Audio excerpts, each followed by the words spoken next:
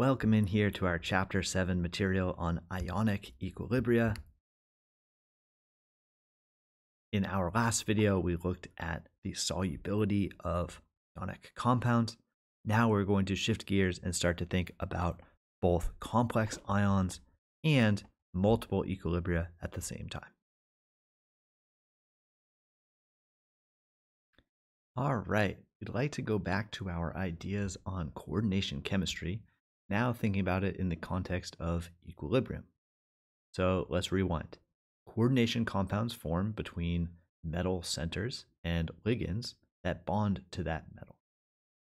We have some Lewis acid base chemistry, and we end up with nice coordination complexes, usually octahedral, tetrahedral, or square planar geometry. If we want to think about this process in terms of equilibrium, we can describe our metal and our ligands forming this complex. This reaction can be described with an equilibrium constant, and we'll give it a special name. We'll call this Kf for formation, the formation of a complex. We can look at an example. This is just like all of our other equilibrium constants. And so if we have this reaction, we can write our equilibrium constant like this the products divided by the reactants. This might get a little bit messy where we have square brackets for our complex and square brackets for molarity, but we can try to keep track. And of course, don't forget our coefficients turn into exponents. Since this is the formation of a complex, we call this Kf as a special name. We've written out the equation. Now we can look at some values. Here are some Kf values for some fairly common metal and ligand combinations. Notice that our KFs are enormous. These are complexes that really like to form, and so our equilibrium constant is going to be very, very large. We can also think about complex ion formation as kind of a common ion effect coupled with our solubility reactions. If we have a precipitate, but we also have some ligands present, we can try to do both reactions at the same time.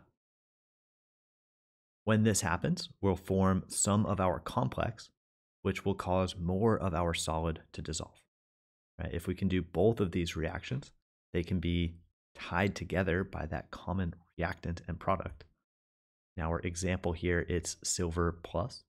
These two reactions get to be tied together based on that silver plus if we have just a little bit of our silver chloride dissolving because the KSP is very small, but then we add some ligand to our solution, we're able to remove some of that product from our dissolving reaction.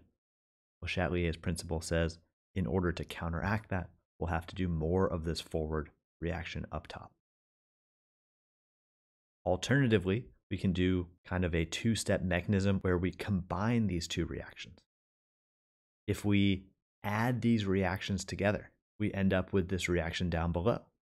Silver chloride in the presence of cyanide makes our silver complex and some chloride ions. The equilibrium constant for this overall process has to be the product of our two equilibrium constants for our individual steps. Notice here we can actually get a value. The equilibrium constant for dissolving in the presence of a ligand is going to be, well, approximately 10 to the positive 11th power. This is a very big number. Our silver chloride, which is not soluble in water, is going to be quite soluble if there's a large amount of cyanide present. This is a common theme that we can see. In the presence of ligands, we can have our insoluble precipitates become much, much, much more soluble. We can visualize this. Here is a beaker of silver chloride. It is mostly insoluble, right? We have this crystal solid sitting at the bottom of our beaker. When there is ammonia added to that beaker, now instead of remaining as a solid, we can form that complex, that diamine silver 1 complex, which is soluble. Those two equilibria can combine together. We end up with something that is much, much more soluble. And our silver chloride, which we think of as insoluble, can be dissolved under the right circumstances when there's also another reaction we can do with our ligands. If we'd like, we can reframe this process to be not the formation of a complex, but a complex dissociating into its metal and ligands. This is the opposite process, right? The reverse reaction of our Kf. And so we can have our equilibrium constant for this reverse reaction be the inverse of the equilibrium constant for the forward process. We call this dissolution or dissociation. This is Kd. Once again, just giving this equilibrium constant a special name, a complex breaking apart into its individual pieces. Sometimes it's nice to do this so that we have an equilibrium constant that is very, very small and it's more intuitive to know when to use that small x approximation. As an example, here we have a practice problem. If we want to try this as it's written, our ice table can be set up like this.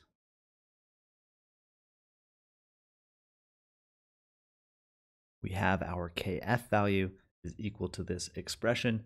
This is one equation with one unknown, but notice here our kf is going to be quite large, and so our x is actually not going to be very small at all. Our x is going to be very close to the limiting reactant. So solving this without the small x approximation, this is going to be hard to do. Instead, we can use some of our previous strategies. Can we set up maybe a two-step process First, we can do stoichiometry. What is our limiting reactant? Go all the way 100% towards completion. And then we can inch off and go back and do an equilibrium step after that. It looks like copper will be our limiting reactant. So let's use up all of that copper first, and then we'll try to do equilibrium.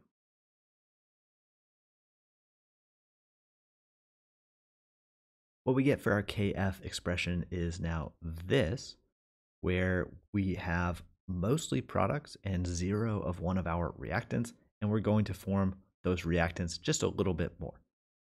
Notably, our kf is extremely large, so we're not going to form many of these reactants back again. Our x in this equation is going to be very small, which is great because it makes this complicated equation much easier to solve. Once we have our answer for x, we can go back and check if this was a good assumption. And it seems like it is. x compared to the things we're adding or subtracting it from is many, many orders of magnitude smaller. All right, our last topic here, we can think about coupled equilibria. We've already actually thought about this a little bit before in terms of Le Chatelier's principle and thinking about multiple chemical reactions at the same time but now we can introduce it formally. When we have multiple reactions that share one of their chemicals, they can be essentially tied together. They can be considered coupled equilibria. Anytime one of those systems is disturbed, it will disturb the rest of the systems that are coupled with it. All of these equilibrium positions affect each other. This makes our real life situations much, much more complicated than we might initially expect. And we can see that in our example right here. There's a complicated system of carbon dioxide reacting with water to form carbonic acid, which can then dissociate into hydrogen ions and bicarbonate, which then dissociates into carbonate and more hydrogen ions, which then influences the solubility of calcium carbonate. The solubility of calcium carbonate is actually really important for many, many ocean creatures, including coral. Coral build their structures out of calcium carbonate, and it needs to be insoluble for these structures to actually exist. The amount of acid in the water will affect how much carbonate is around. In the presence of acid, this carbonate will be removed from our system. if we do this reaction, removing our carbonate from the system, forming bicarbonate, we're going to have to replace that in our reaction number four. Essentially, what we've seen before, calcium carbonate is more soluble in the presence of acid because of these coupled equilibria. If we'd like, we can also combine some reactions together. And if we want the equilibrium constant here, we can say that this is going to be the product of our reaction 4, reaction 3, and we can try to calculate this numerically as well. So once again, with our equilibrium type problems, conceptually, we can think about Le Chatelier's principle, one equilibrium affecting another. Quantitatively, maybe we can combine multiple reactions together and determine the overall equilibrium constant for that total process. We have a couple more examples of these coupled equilibria. Not always the most fun examples, but you know, important to think about. In our teeth, we like to have our tooth enamel coating our teeth, protecting them from the outside environment. And as it turns out, this tooth enamel is composed of this compound. Notably, this compound contains basic anions, which means it's going to be much, much more soluble in the presence of acid. Here's the dissolving reaction. We could describe this with KSP. We also have the possibility for hydroxide that's formed to react with H+. This is the inverse of Kw. Lastly, we can have our other basic anions react with acid. This is our neutralization reaction for phosphate which we can describe as the reverse of our Ka process for that HPO4 2 minus. These three reactions are obviously tied together. We can see that when there's acid present, we will very readily do this first neutralization reaction, which will remove our hydroxide, which will cause more of our solid to dissolve compounds with basic anions are going to be much, much more soluble in the presence of acid, especially in the case of hydroxide as this ion, because hydroxide is such a strong base, it will react very readily with any acid that is around. What we can do to counteract this, we don't want our teeth to have their enamel dissolving all the time when we eat acidic food or whatnot. What we can do is have fluoride in our drinking water, fluoride in our toothpaste to help replace the hydroxide in this tooth enamel mineral. Fluoride is still a base, but it's going to be a much weaker base, and that reaction is going to not happen nearly as readily, and our tooth enamel won't be nearly as soluble even in the presence of acid. There still is a problem here. We don't want to have acid in our mouth all the time, uh, which is how we get cavities. Actually, the bacteria that live out there in our mouth digest any extra food that's around, producing some acidic byproducts. If you don't brush your teeth, that's why you get the cavity. All right, one last example here. You can also think about the pH of our blood. We do want to have our pH regulated within our body. We can't have it going too high or too low. Both of those are going to be a problem for us. We want it to be between about 6.8 and about 7.8 as the pH. The way our bodies do this is by using a buffer system.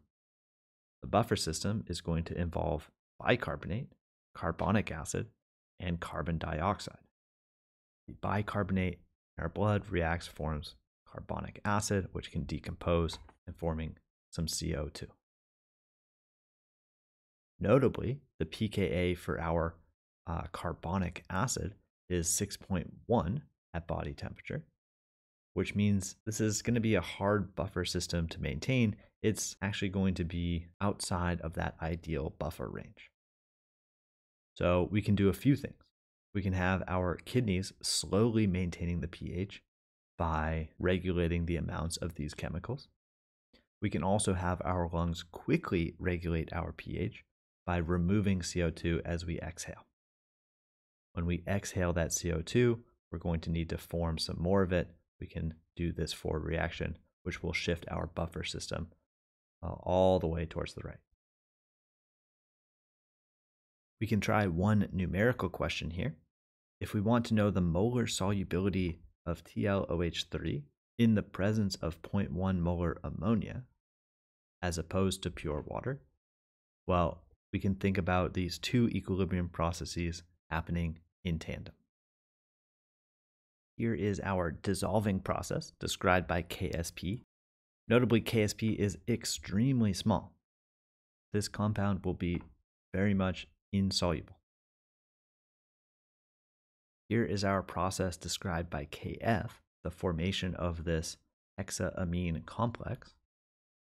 Notably, our KF is pretty large, 10 to the positive 10, which means we expect to see a lot of this complex. If we're trying to do both these processes at once, we can add these reactions together and end up with an overall process. The equilibrium constant for this process will be the product of our individual equilibrium constants. We're now free to do our ice table calculation. The solubility is if we have lots of our solid, and in this case 0.1 molar ammonia, none of our other chemicals, how much of this will dissolve.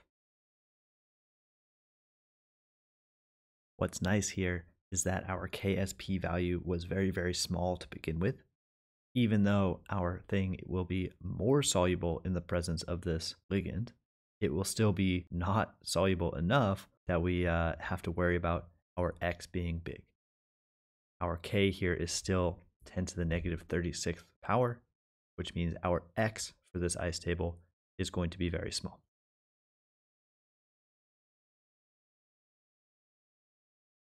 What we end up with, our solubility 2.2 times 10 to the negative 11 molar. One final problem here. If we have complex ions forming in our solutions, well, maybe there are multiple ligands that are present.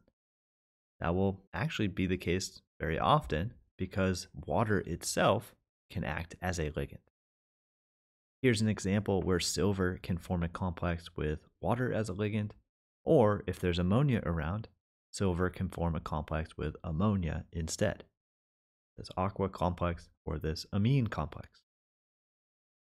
If we want to think about these two equilibria together, we can do that conceptually with Le Chatelier's principle, or we can do that numerically by adding these reactions together, forming a new overall process where one complex is in equilibrium with the other complex.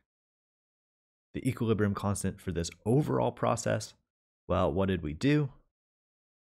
For that first reaction, it looks like we had to flip it. The second reaction, we left the same. So our K here will be the equilibrium constant for that first process inverted times our K for our second process not inverted. Essentially, this is going to be the ratio of our equilibrium constants for that amine complex compared to our aqua complex whichever complex has the larger kf value, well, more of that complex will form and will favor that complex. We can think back, maybe we did something like this in our experiment this semester. What value did you get for the equilibrium constant that we measured? What does that tell us about the relative equilibrium formation constants for those two different complexes we studied? All right, that will wrap us up for this video. We have looked at our complex ion formation process, also some dissociation, and then how to deal with multiple equilibria all at the same time, whether that is conceptually or quantitatively. Thank you for being here. Please let me know if you have any questions. I look forward to seeing you in the next video.